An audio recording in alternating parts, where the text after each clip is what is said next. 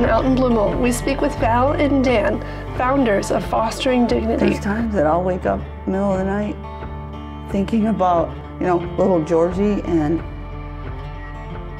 did I hear him correctly? 4,500 kids pulled a year. 4,500? In Illinois alone. That's way more than I ever would have imagined. 230 plus in McLean County in a year. I'm offering you an opportunity for $5 to know when you put your head on the pillow tonight that there'll be one, one less kid with a garbage bag. I know it's the right thing.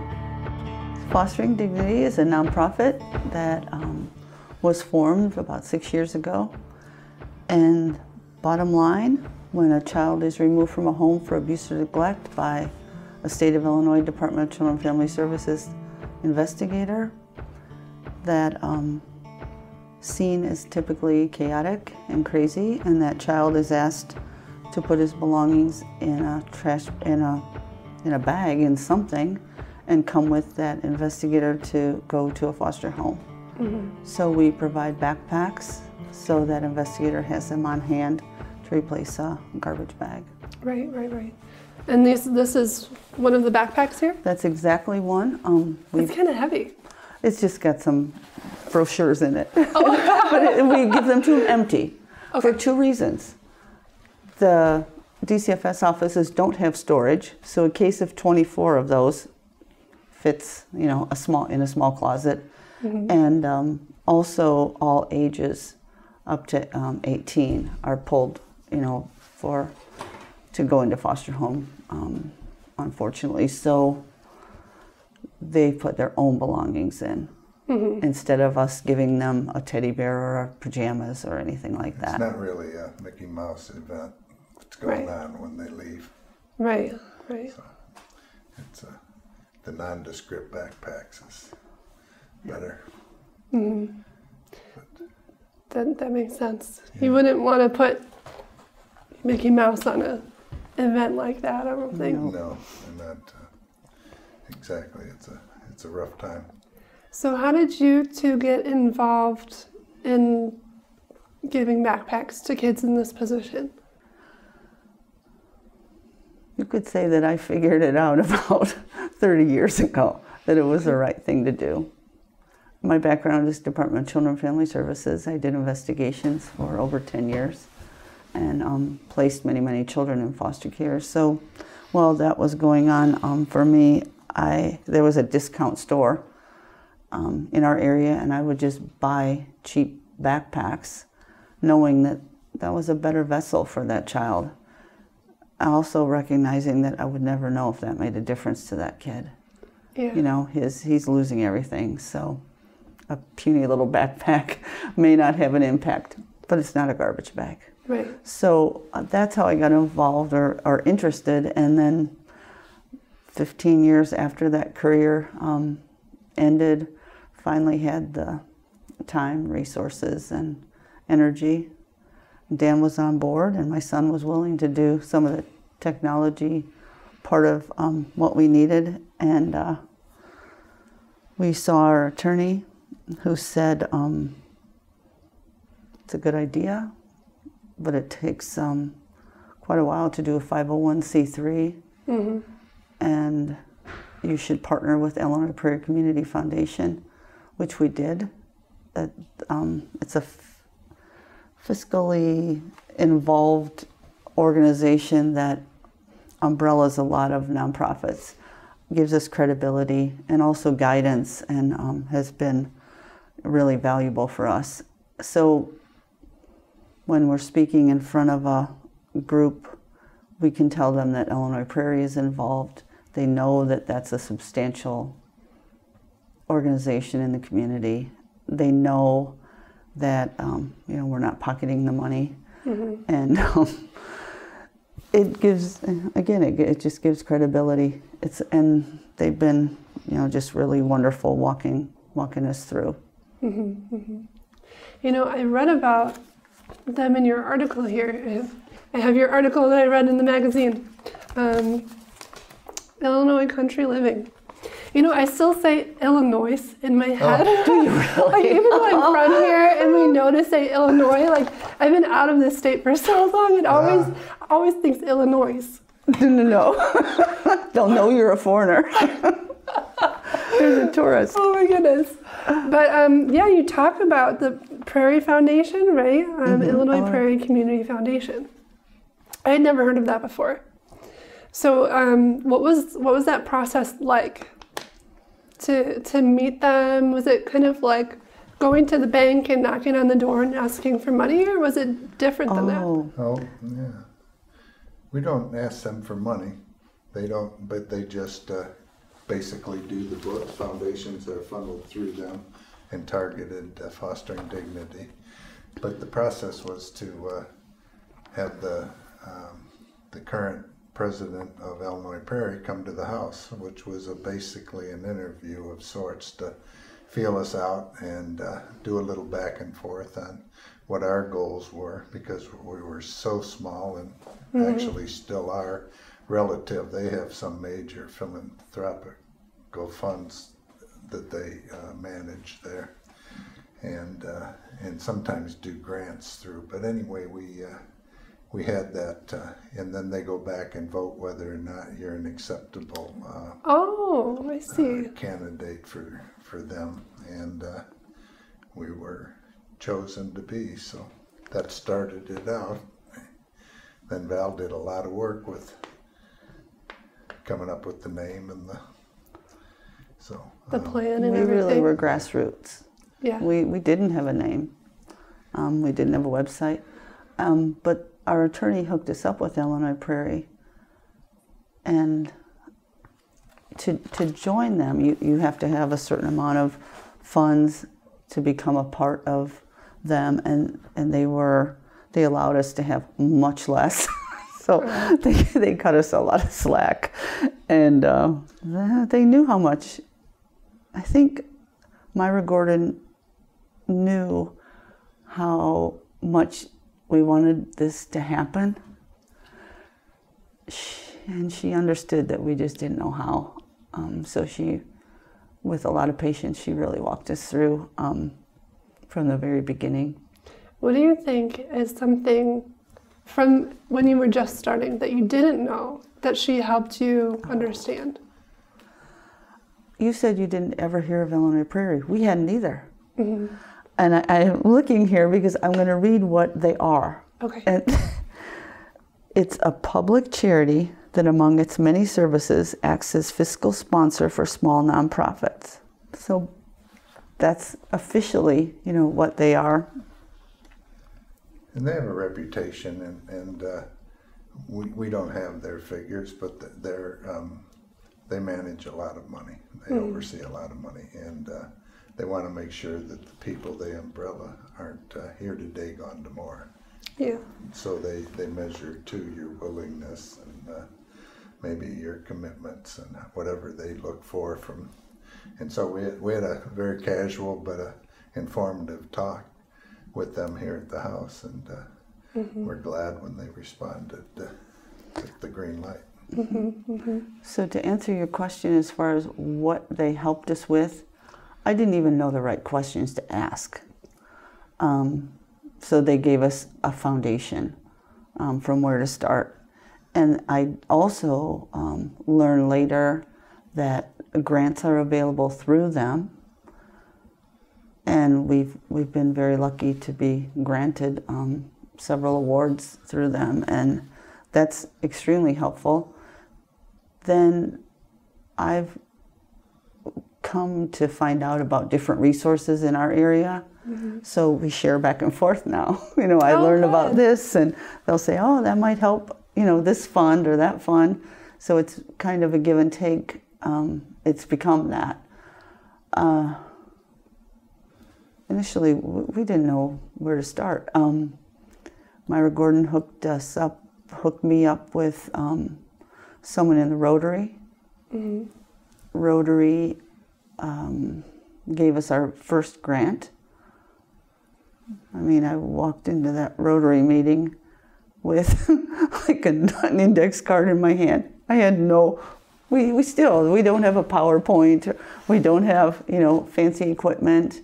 Um, we bring the, we we didn't even have a sample backpack, nor did we have a brochure at that time. But um, they took us under their wing. Um, Joe Michalecki was just so patient and um, he met with us how many times to fill out the paperwork for the grant and uh, and that was a thousand dollar grant. So we were up and moving.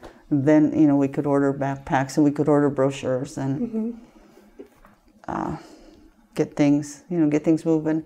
Another organization that uh, was helpful RSVP is Retired Senior Volunteer Program through the YMCA, YW. YWCA, in town in Bloomington. And um, they have older volunteers who just volunteer to do a number of things.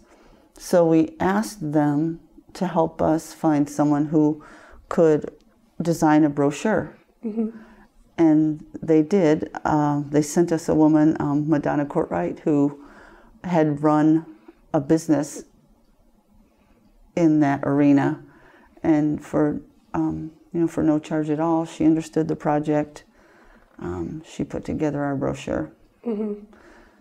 So that's what you learn about you know Bloomington Normal, and about just the outreach of and the willingness of people who hear about the project, understand it, sometimes have a very personal connection with DCFS, which, you know, I, I never ask what what brought you to, to care about, you know, foster kids? Why why did you donate to us? Or mm-hmm. why what turned you on about this particular nonprofit? Why did you vote for us to get a grant? All those things, you know, those questions will never be asked. But you do um, predict and assume that it might might be something in their past. Um, even you know, a neighbor was a foster parent, or they adopted, or they're Or they knew somebody who should have been helped. You know, do you ever want to ask people, do, and you just don't because it's out of respect, or what? What is the thought process behind that? Well, we could be nosy, but probably it's more, yeah, it's, it's, really, it's none of our business if it's not volunteer. So Yeah. um, there, there can be a variety and uh, one can almost imagine the variety of situations that somebody would be involved with, you know, and, and it's the same kind of thing that, that brings people to be part of other nonprofits umbrellaed under Illinois Prairie. And uh, you meet some great people. So there's a there's a type of networking that you can go on there, and people are so nice and willing to share some of their experience, while at the same time you have to recognize that you're competing for the same social dollars out there, so Okay. they don't go too far that way. You know? Okay, But, uh, yeah. But as far as uh, you know, uh, how to have a fundraiser and things like that, that's some of the lessons learned that they had in their growing pains um, are helpful. So uh, we find that uh, most people are very willing and to share their experience and things like that. So um, that's always a you know a valuable asset when you can be in community with like-minded people. Yeah. So And it seems like Bloomington Normal is just filled with people like that. I can't tell you how many people that I've talked to around here now that are their main concern is the community, like genuinely caring about the people that live here. There's something really special going on here. Ah, I love that you recognize that. I agree. Servant leadership is huge here. I mean, there are people that, that dedicate, you know, 12, 15 hours a day to serving others. Um, and we've gotten to know a few of them and uh, talk about admiring, you know, I, I have no aspiration to ever be ever be in that arena. I just I just won't. But there are people that truly just you know morning till night work on their causes and sing you know sing the praises of their oh Some of that too is fostered even by the, the corporations that reside here. Really? They have um, programs that, uh, uh, without naming the company, it's called Good Neighbors Grants, Okay. where they uh, each employee can target a nonprofit, and uh, it's pretty well assured that that nonprofit will get a five hundred dollar uh, gift.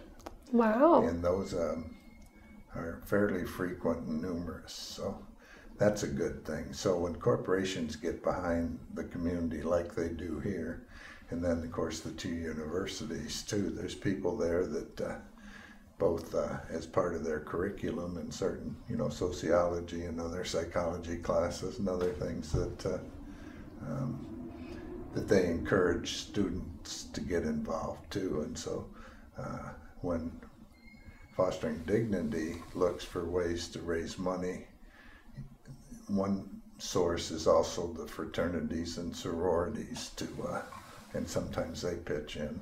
Uh, I know other organizations. Uh, uh, Fostering Dignity had a uh, Eagle Scout do his project. The an Eagle Scout has to do a project to get their yep badge, and uh, um, they did, and they had a, uh fundraiser at uh, pizza ranch Pizza Ranch. and when people came in, uh, uh, the the young man from Towanda here that uh, was our guy.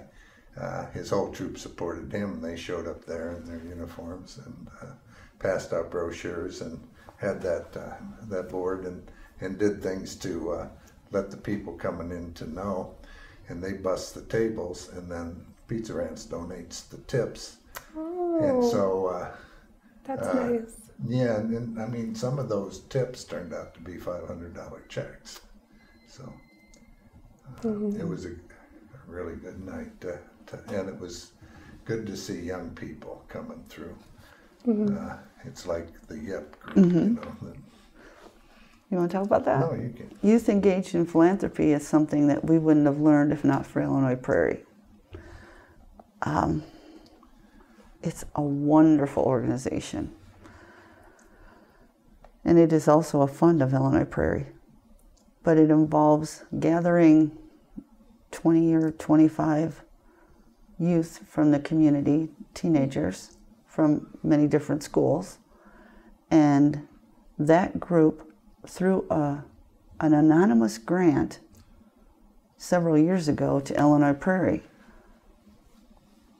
has an amount of money that they decide what which nonprofits should they should designate it to in the community. So you write a grant and you write what you want and why, mm-hmm. and then they decide. But someone in the community started that with with with that in mind. I mean, I think that's a genius. Yes. So here they give the Illinois Prairie anonymously ten thousand dollars and say, you find a group of teens. Those teens are learning about nonprofits. Mm-hmm. Occasionally, we get a chance to speak and meet those teens, so they're understanding, you know, what goes on in the community beyond, you know, That's like baseball. and exponential. it is exponential exactly growth. that. Wow. And now they have become, I believe, self supporting.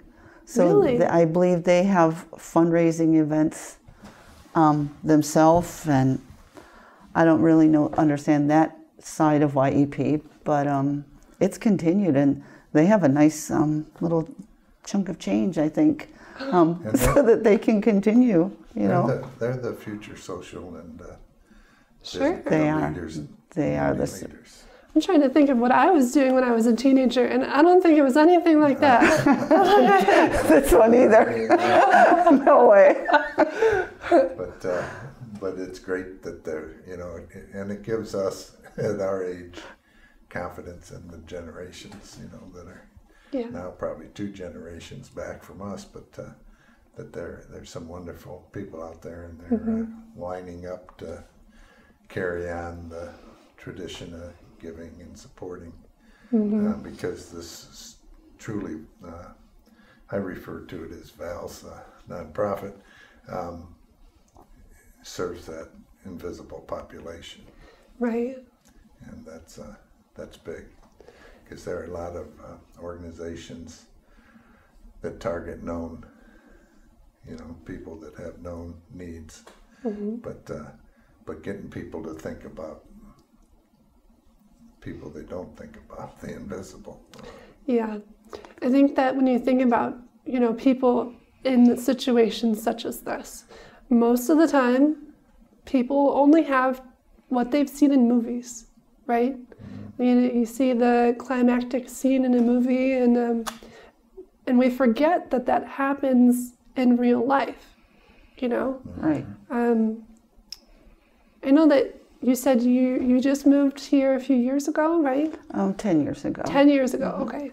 So, how, I don't know if you, maybe this is a silly question, but I mean, how often is a backpack in that situation necessary? Either in this area or in the country? You know, how, how big is the area that you serve and, and how big is the need?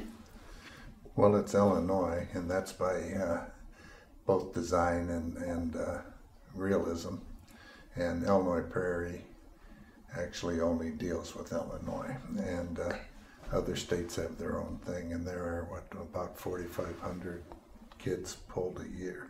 4,500? In Illinois alone. That's way more than I ever would have imagined. 230 plus in McLean County in a year. Wow. which is sometimes we don't see that here because our community is so uh, well thought of and well rounded, and so there there are octaves here too of life, you know, like everywhere, and uh, uh, so the need is here. Obviously, Cook County has that a lot, uh, and uh, but every county has people that go through that suffering and abuse. So when we first started even thinking about this, before we had a name, um, our very good friends Bill and Cheryl Buddy, who live in Normal, they they just wanted to help in any way they could. They helped with fundraising. They supported us. They um, they were cheerleaders from the very beginning, and they Not to are mention their wallets, you know. they are retired and they are willing to take road trips anywhere to deliver backpacks and they enjoy doing it. Um, they've had a variety of responses from dcfs offices. Some negative some some very positive. Well because i and i understand that um, because in the this investigative side of DCFS, you are just blasted with demands and requirements, and even to take 20 minutes for this nice, you know, these nice people to bring these wonderful backpacks for free, delivered to your office. you just somehow sometimes you, you don't have the time to be cordial and gracious. You just say, "Oh, great, those are backpacks. We'll get them in the closet. Thanks, goodbye." Um, so, but and they've come to understand that. But then they occasionally have the they'll get hugs. They'll get you know letters of thanks. Um, so it, it's just it's such a variety, and um, it depends on the office, but the DCFS office. But they um, they're so willing, and um, they keep they keep track of where they keep track of when they they she does a spreadsheet of you know everywhere that, that they deliver. They would never take anything for um, you know gas mileage or anything like that. Um, so we we're just really grateful uh, that that they're on board and um, such giving they're just such giving people. And turned out to be good friends. Super good friends. Yeah. Well, you mentioned that like some people some people are accepting of the backpacks and some people are like okay but we, we have to keep doing our jobs. Do you think that a lot of some investigators might be like hardened to what they have to do and others kind of lean more emotionally into serving? Um, what is that like? It's a good question. That is a good question, and and it's an individual basis. Um, in our office, uh, we had every octave of investigator. You know, we had the retired chief poli- chief of police, and um, and we had the bleeding heart social worker, and everything in between. So, survival. Um, if if you want to, you know, continue in that position for more than a month, You have to harden to some degree. sure That's a requirement, not an option, really, for longevity, isn't it?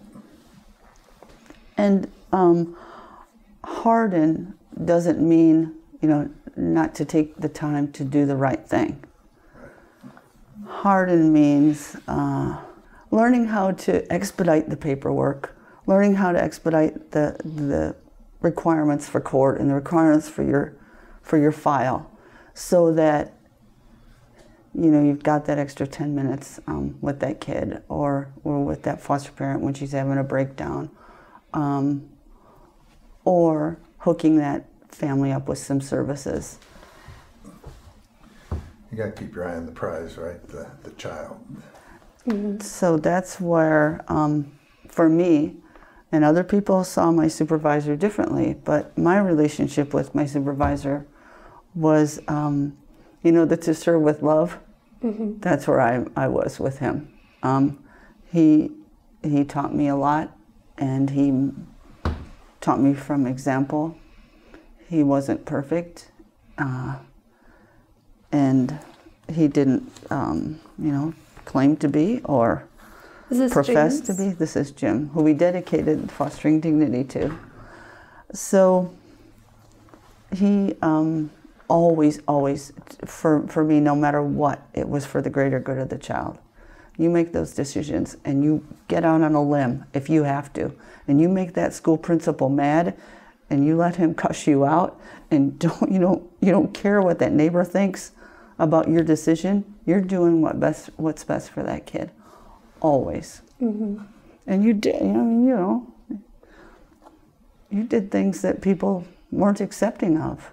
And you couldn't please you know you weren't there to please anyone you your job was to determine if that kid was at imminent risk of harm and if he was your job was to remove him from that environment um, to a safe place Did you ever feel like you didn't know, or was it always very clear what the right decision was? Kristen, there's times, I mean, this is a long time ago that I did this job. There's times that I'll wake up middle of the night thinking about, you know, little Georgie and did I hear him correctly? Did, you know, and then and you start processing that whole case over and over like it was yesterday. So continually um, you wondered, did I do did I do the right thing? We had um, I had some, especially one woman that, that I that we worked so closely together, and I was so grateful to have you know her to her to bounce off of. She she's just a really wise lady, and um, she had done the job for five or six years before I came on board, um, and we would have many midnight conversations about this is what I heard. This is the way his voice sounded. This is the, the way, you know, that, that his eyes moved. This is the body language. These are the words he spoke.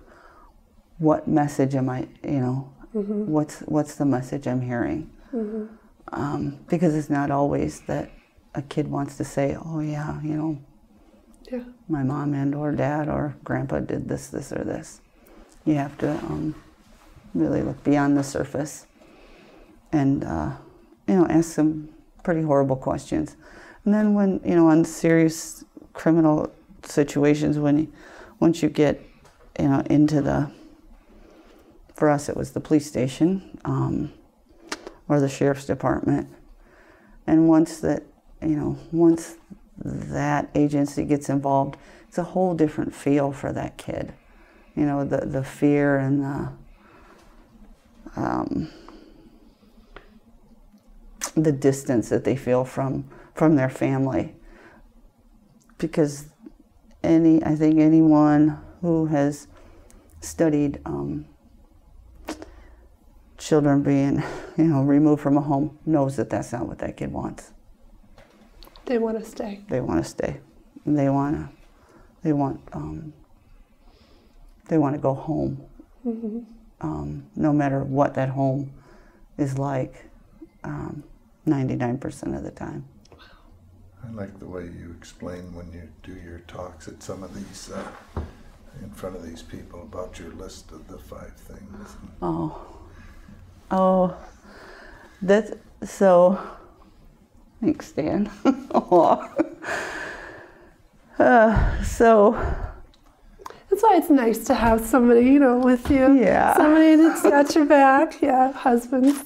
Very yes, nice. it is nice. We appreciate it. And, and you know he he hustles those backpacks out you know out of the UPS truck and he hustles them into my car and you know we, we move them here and there and he does um, things online the state of Illinois requirements and when I'm writing a grant there's parts of it that he's really good at parts of it that you know so it's a it's um, definitely a team effort and we found what strengths and what weaknesses each other has through all this. So that's a positive. So what he's um, talking about is when um, when a child's removed from the home uh, I'll explain this in the way that I learned this. Okay. It, I don't want it to sound like it was my idea. So DCFS was constantly sending you to trainings. One of the trainings, um, I, I just wasn't prepared for this kind of thing because typically the trainings are you sit in a classroom and they feed you, you know, rote information that you'll never remember or it is meaningless. So this particular training was a retired professor and he said, so this is an exercise that you're going to never forget. I'm like, yeah, sure. so he said he turned the lights almost off. And he said, You're gonna write down five things. And those five things are gonna be your favorite possession, your favorite place to be, your favorite taste, and your favorite person, only one, and your favorite smell. And he had us um, think about those things, and then he had us cross one off at a time. And that's how a foster kid feels once you've pulled him from everything he knows. And that's an exercise that I share um, consistently with organizations or when I, when I have an opportunity to speak to a group. I've, I've had people do that exercise. And then I pass around um, a brown paper garbage bag and tell them to rip up, rip up their paper because nobody's ever going to see this. Put it in the trash bag. And uh, always with the goal of get money for donations for backpacks. And, it, and it's effective and it's moving.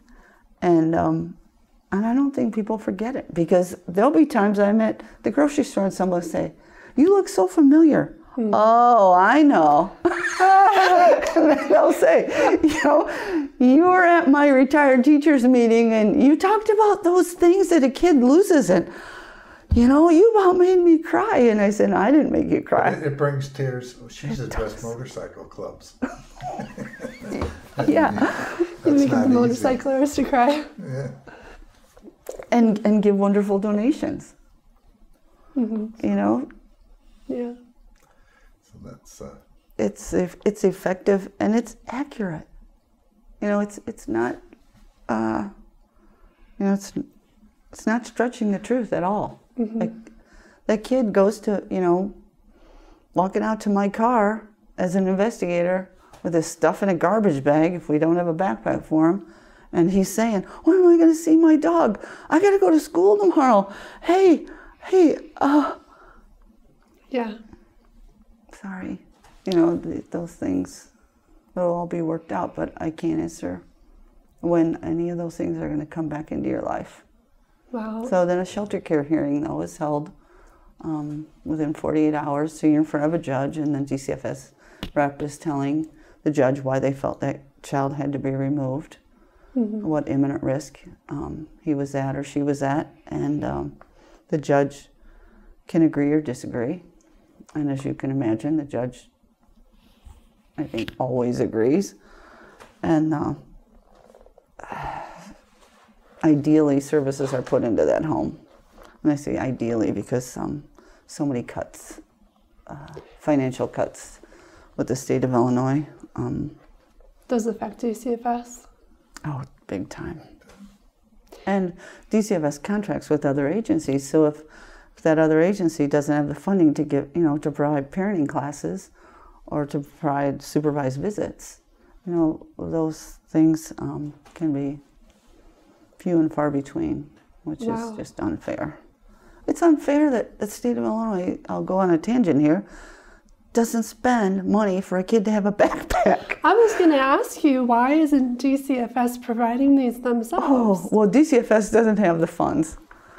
I mean, that because they're not allocated enough money to even hire enough investigators to do these investigations, Wow. um, let alone provide backpacks. But uh, we've, our um, Dan's cousin's husband wrote for a newspaper in uh, Austin, Texas. And when, when we started we started telling him about this, and he just he got so angry. He stood up and he said, "Shame on the state of Illinois that those kids, other things. that those kids don't have a backpack." And But Illinois doesn't have a corner on that market either. I mean, politically, if it's not in the forefront, and sometimes, which we're not, we have to stay out of the politics, right? Hmm. Or we'll, you know. Oh, for the video? Oh, you can talk no. about politics. Well, no, I mean, uh, but sometimes uh, the the social programs are the first to get cut, and they're, they're targeted, and uh, and the open-mindedness would dictate that possibly there are some that could lose a little money and not be noticed, uh, but others should have more and aren't getting it because. Again, an invisible population isn't popular politically I see. and those kids don't vote. So, what would have to happen in order for DCFS, like, like, let's imagine that DCFS was going to have these backpacks, and every child would always get a backpack now instead of a garbage bag. And what would have to happen to make that possible? money would have to be funded into an account that purchased backpacks. Just like, you know, we have enough pens and pencils in the office, we have enough desks and chairs. Um, so there, would- there would just have to be money allocated for that. And it really isn't a large sum. It's, uh, it, uh, it could be done with twenty-five thousand a year, which if you look at a state budget in the billions, is not a lot of money. That would give them a, some kind of a dignified carrier for the little bit that they can take with them, you know, so. uh, What it would take would be for, uh, uh, some politician maybe to have a connection and introduce and uh, passionately uh, advocate for uh, that type of thing. I'm grinning because on each of the cases, not each, we try, the cases of backpacks to go to the DCFS offices, put a little label and it says, Dear DCFS worker, if you have a rich uncle, neighbor, send him my way. this is my phone number. you know, we, we need um, we need donations. Yeah. Um, So you never know where it'll come from. So far, that hasn't worked, but it But, could. but also giving other people the opportunity to, uh, albeit a small way, to, to get into the giving frame of mind and Yeah. uh, thinking along those. I keep using the word invisible population, but things that you normally don't think of. You know, um, Mm-hmm. what I mean, just one one dinner a month out less, and you could impact quite a few kids. Mm-hmm. You know, so. So really, it's an opportunity for people to make a difference, rather than like funds for DCFS are probably taken out of tax dollars, right? Yeah. And nobody likes taxes, I don't think. But if you have the opportunity to help a kid, like that feels different. So maybe that's what nonprofits are all about, right? I think you hit it. Yeah, I think that that is correct. That Yeah, bringing like it to the attention. Yeah. Yeah, I sometimes say, when I do a presentation, I say, I'm offering you an, an opportunity here. Yeah. I'm offering you an opportunity for $5 to know when you put your head on the pillow tonight that there'll be one, one less kid with a garbage bag. That's a big, that's a pretty good bargain. Yeah. Well, it's, you went to, was it that market in downtown Normal, that Sugar Creek? Oh, was yeah. It? Um, the Corn Fest. They call In it- August, right. So how did that go? That was enlightening to me. Um, I had I had this set up. I had our brochures um, sitting all over the place. You had a and booth. we yeah, Uh, and we drew attention. We had sample backpacks, and you know, I mean, I just kind of stood out there. When someone would glance at the poster, I'd say, "Let me tell you about what we do and why."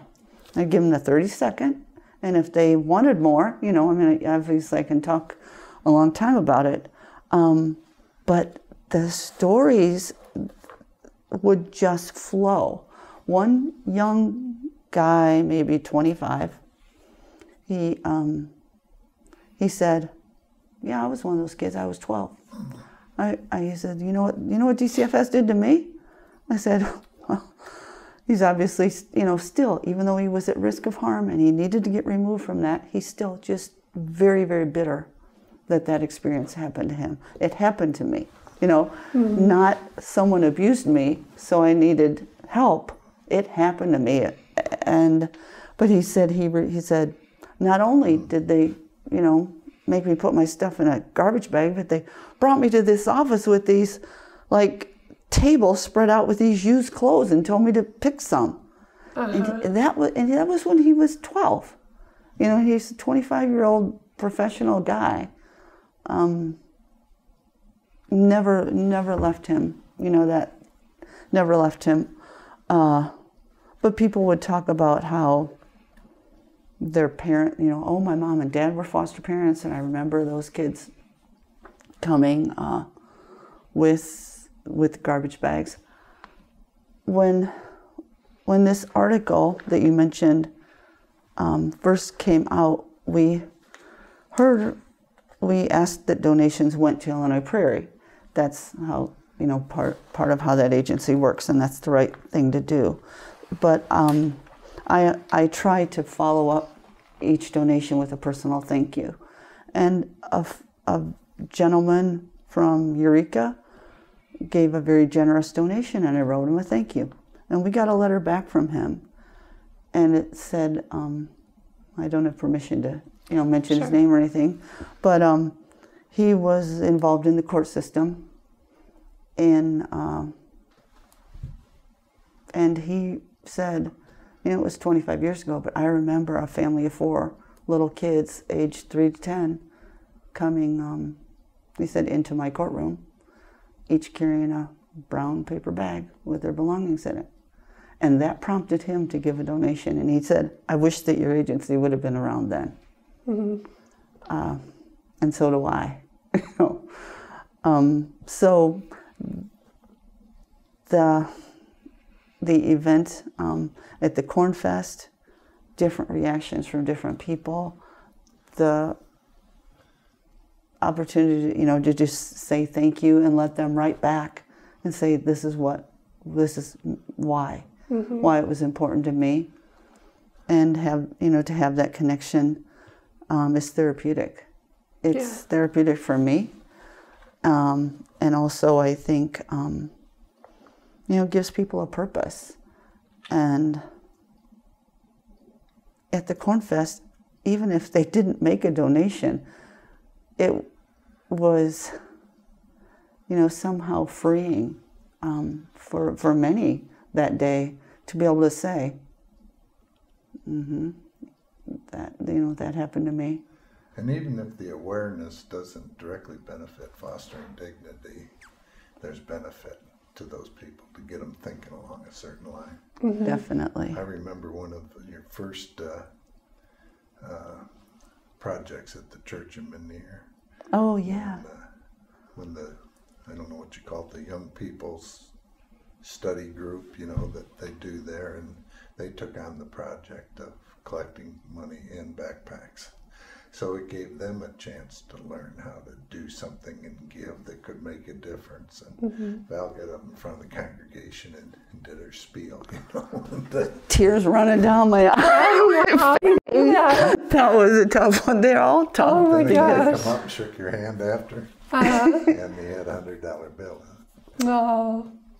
Yeah. And you never ask why. Yeah. you know, you know.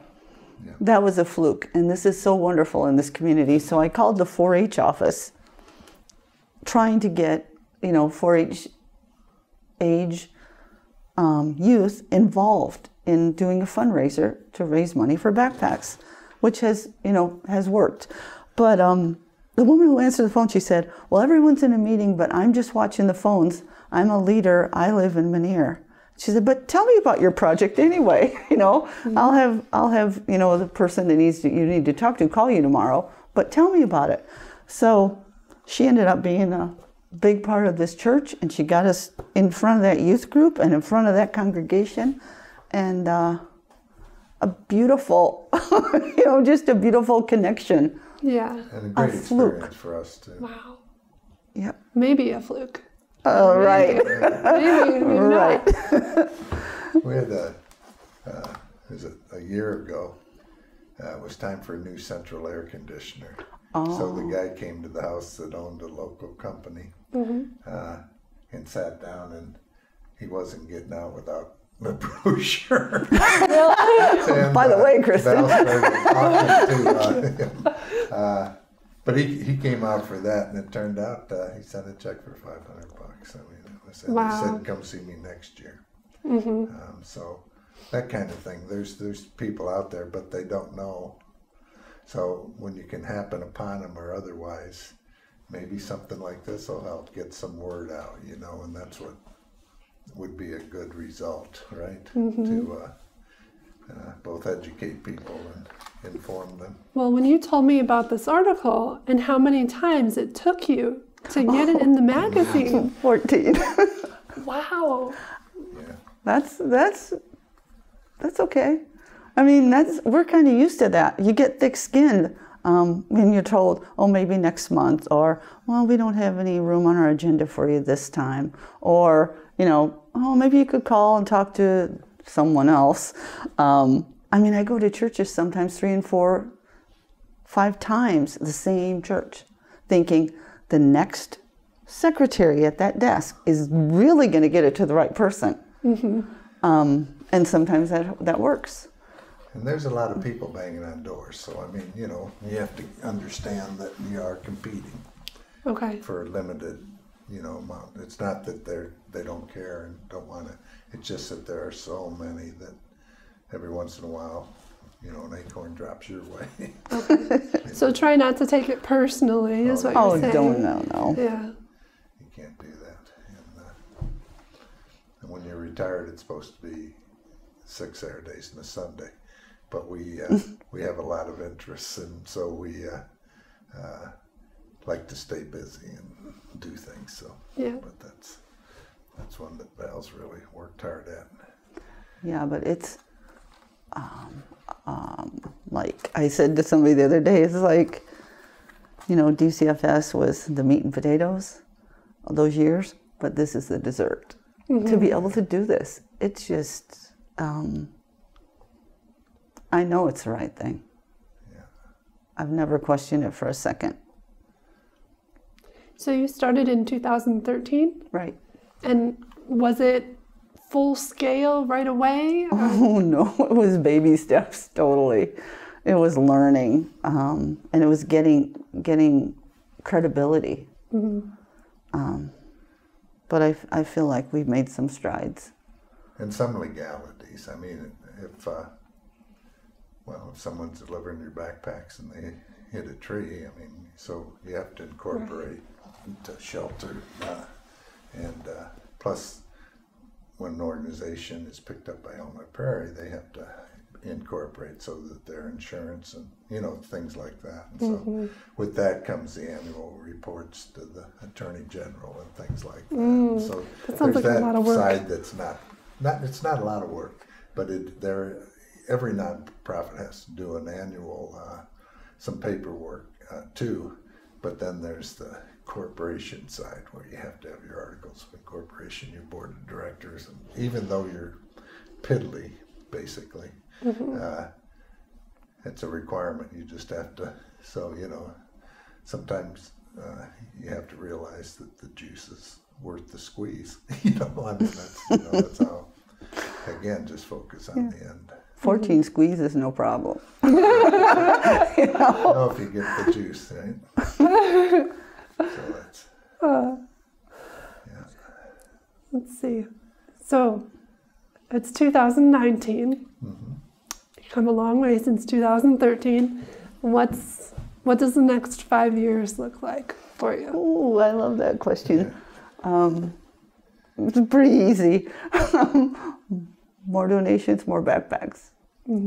Less children with garbage bags. and enough to supply every DCF office office in Illinois, which I don't know how many there are. Do you? Oh, it Offices? depends. There's field offices and um, But again, five There's- thousand, enough to get five thousand a year distributed. Is and then maybe who knows? Then you can add on a different, you know, target for the nonprofit. 1,400 last year. That's what you delivered. That's what we delivered. Well, Cheryl and Bill, Buddy, Delivered delivered. okay. Um, 1,400. My son delivers um, some in the Chicago area for us, uh, which is helpful. Now is drop shipping not an option? Oh, well, we like to not spend money on anything but backpacks. Oh, okay. so that's why you have That's- friends deliver them and they don't charge you for Correct. it. And uh, nobody takes a penny. There's no cost for postage and whatever brochures. What it just everything goes towards the backpacks. Gotcha. So, to say what's in the fi- in five years, if it were a perfect world,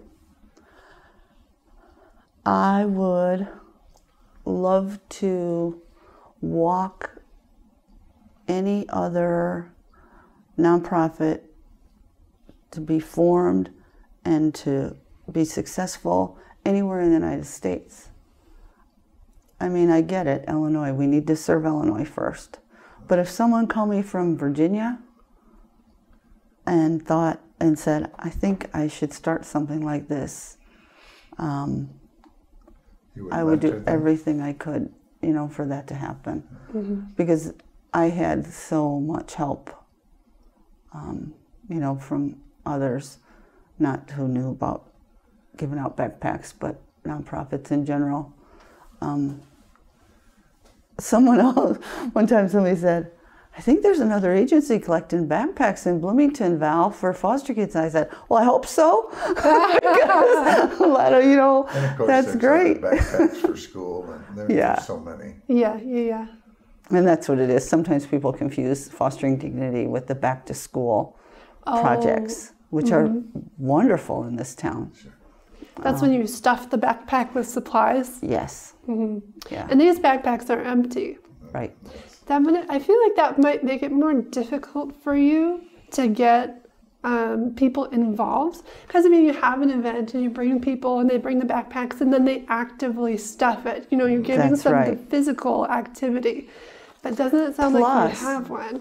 Then they often get to be a part of handing them out. Yes. So, and, and all I tell people is just give me money so I can buy backpacks and give them to kids we'll never see. because that's the bottom line. Yeah. Um, so you're right. Uh, it's a different frame of mind, the giver, um, you know, who wants to be involved in the back to school compared to fostering dignity. It's, it is, it's a different frame of mind. Not that someone can't do both, but um, we're very hands off.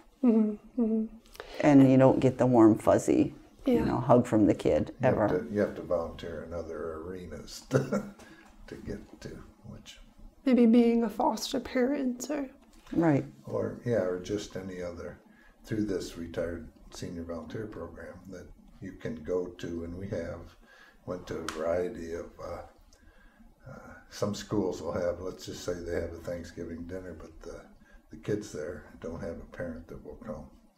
There's a lot of situations out there, and so you're the pseudo parent, and you go and sit with the kid. So there's ways you can get the the warm feelings of the seeing the people and seeing them smile. But uh, and uh, and there's nothing wrong with people wanting that. But in the case of fostering dignity, you have to be okay with being anonymous. Now, do the kids that receive the backpacks, not that this is the priority at the time, but do they know or do they find out that the backpack was donated to someone or from someone? No. I doubt it. It's so not important in that child's life at that point. Yeah. It's just that, you know, you hope that maybe when they wake up that next morning at a stranger's house that they that they're unzipping a backpack. they have to go to a new school. They don't have to, you know, they got something to. I don't know, just something, you know. Yeah, Yeah. there's no like note in the backpack that says donated by. That's that's not important to us. Not. Knowing what you know what that kid's I think it's endured. important not to do that. It is important do not to. too. Yeah. That's interesting. Why, why do you think that? Well, I think that because uh, uh, it puts the focus in the wrong direction, maybe. Just that it's there, you know. Yeah. Um, and at some point, that maybe people will rationalize through it that it had to be there as a result of someone, but uh, but who and you know and all that logistics isn't so important. I'll bring this up. You have children. Yeah. You shared. hmm Yeah, and Xavier is six and Hyde is three. Oh, Yeah. hmm So picture, you go home this afternoon and there's a knock on your door. And you learn the worst thing that you can imagine in your life has gone on in your home. And for that reason, your children are not considered safe. Mm-hmm. And for even if it's for 48 hours, a stranger, an investigator, takes them, you know, with her, and you're standing at your door, and your kids are being taken by the state of Illinois. Unimaginable, right? I mean, it's it's Unimaginable. imaginable. It's an unimaginable that those people would survive. I mean, Right. like it's that instinctual. I mean, how did you how did you survive? I don't- because you go with a police officer every time to every visit. No. No, I'm sorry. I mean, that sounds like a dangerous. kid. That's a No. dangerous situation that you're entering into, but you must weigh and say, well, it's Right. more dangerous for the child, right? Right. So, you every when you when you get in, twenty four seven, anybody can call the hotline. Three hundred sixty five days a year. So the hotline gets a report, and if they feel that it warrants investigation, they forward it to the field office that covers that area, and an investigator within twenty four hours goes to that home or that school to see the victim, the alleged victim. And if, um, if the opportunity is there, prior to interviewing that, that child, they do some collateral contacts. If the child's in school, they might ask the teacher some questions, or if they if the reporter is not anonymous, they can ask the reporter, well, the details of what they're reporting. And granted, many many um, reports are unfounded, meaning there is no abuse or neglect evident. Uh, neighbors fight, in-laws fight, exes fight. You know, people allege. Um, things all the time. Uh, but if you get into that home and you are, you did not anticipate taking that child, you you leaving to get law enforcement, you're risking Yeah. that child being you know further harmed. And now obviously i didn't have cell we didn't have cell phones you know 15 20 years ago. Uh, um, so there were times you took that child right there and then. And it was crazy how that worked. It was crazy that you didn't get a ball bat on your head on the way out the door. Right. because here's a parent or two parents and you're saying here's my credentials. You know you have the the dcfs identification and all that kind of thing. Um, but you're telling them i'm taking your your kid with me now. Wow. and uh, and they may not be educated enough to say i'm calling my lawyer. And even if they are calling their lawyer you can call whoever you want. I'm taking your child now. And um, you know we'll be in court within 48 hours. And ideally um, you know you you could anticipate going into a house and anticipate that law enforcement would be useful and um, and available. But um, you know, there were plenty of times when, when I thought I don't want to walk out this door facing my car.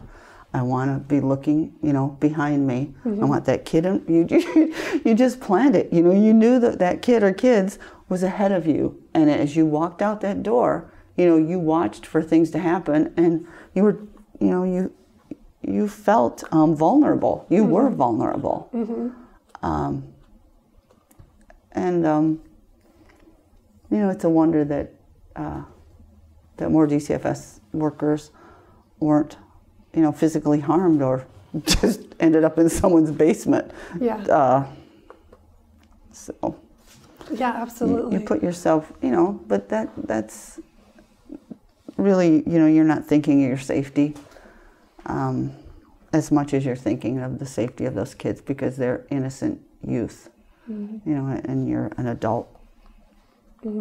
Still, you know, like I said, nightmares once in a while of did I do the right thing? Did I make the right call? Because it goes both ways. Maybe I shouldn't have taken that kid out of that home. Maybe that, maybe that didn't warrant. Maybe there was another way. You know, the last thing you want to do is um, is remove that child. Um, Man, I have I have one memory, and I am imagining that you have hundreds that you have to think of. Like, I, I used to live in an apartment building in um, Oaklawn, and I was probably about seven years old. And the people that lived below us, uh, there was a couple times. I mean, I would watch the probably three year old boy and we would go walk around and sometimes we'd come back and you know every once in a while he had an accident he was potty training but one day his oh no! dad came outside and he said you did that again you know and the three-year-old hides behind me. And um, i didn't I, I, I was kind of oblivious to what exactly was happening.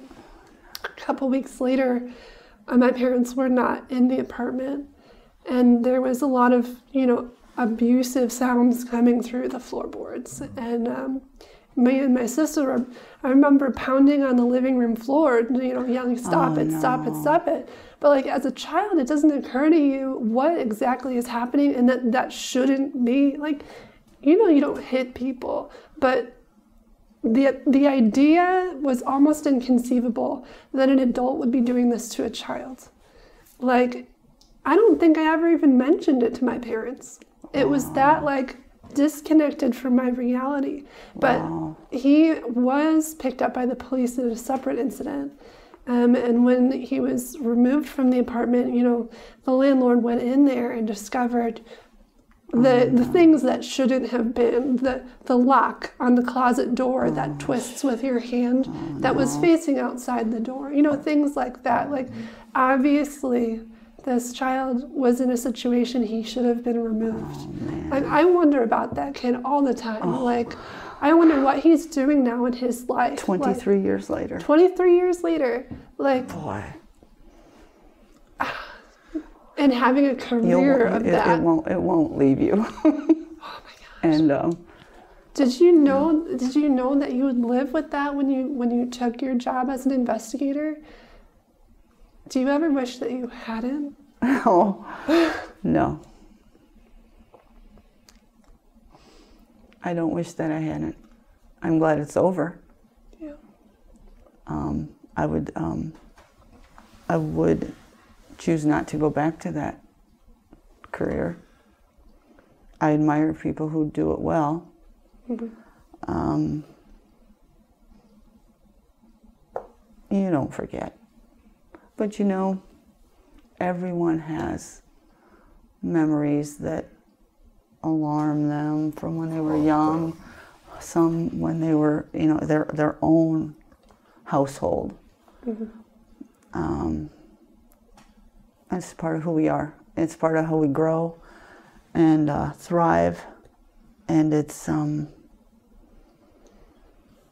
it's how we become, you know, what we are and our priorities. Not in res- spite of it, but in response to it. So you can, um, you know, you can think all day long about the should, should have, you know, I should have done this, I shouldn't have done that, and uh, or you can. there's a saying it says, "I looked around and said somebody should do something about this," and then I realized I am somebody. So you can put your energy towards something positive and, um, you know, move forward in, in that direction. Yeah. You got support from your family. It feels, you know, it's it's Yeah. rewarding. You know, at, at this stage, I said it's des- des- des- dessert. the Yeah. des- dessert. Some mixed emotions, I'm sure. Yeah, for sure. Um, let's just exhale for a minute. Ah, Good idea. Let's have a drink. yeah. So, Val and Dan, thank you so much for being on the show today. We talked about a lot of things. You know, there was some big emotions stirred. Um, and personally, I can't speak for everyone, There are but Kristen. I mean, what you're doing is just so important. Aw. You know that these children realize that they're they're important. You know, they're the things that they love are important, and they're not throwing them in garbage bags. Yeah. You know, just that small gesture can mean the world to a kid. Thank you. Um, and hence the name fostering dignity. Mm-hmm. a verb and a noun. you know? oh yeah. Foster, and fostering Oh, also with has it. foster care that kind of goes together to make it more memorable too. I think so. Was that intentional? Oh, we had a, a hundred different possible names at one point. We really did. And uh, that was at two in the morning, you know, like, hmm, hmm. And then you, you know, you think about the next day and you let it sit a while and you, and then that- It's kind of like naming a baby. it's exactly, it's a When lot that like baby's that. born, you better have a name. It's forever. Like, That's right. You can't change your mind every week. yeah. so you go you go around and you share this message with people in, in different events, right? If, if somebody is listening right now and they want to invite you to speak at their organization or their event, how can they get in touch with you? Well, one, they can call the home phone, which is 309 728 2696. Um, and they can uh, request uh, Val contact them and set up uh, time to come and do that. Also through uh, www.fosteringdignity.org, there's a contact us page there. And through Illinois Prairie and referencing Fostering Dignity, and that's where donations go to, as the website explains. They can on the website they have PayPal and other ways to, uh, you know, Visa and all that. But uh, uh, it goes to Fostering Dignity, and it's denoted to Fostering Dignity, so they know where to what fund to put the uh, donation in. That's important to us. Uh, otherwise, they uh, it goes into more or less a general fund. And but if so. Um,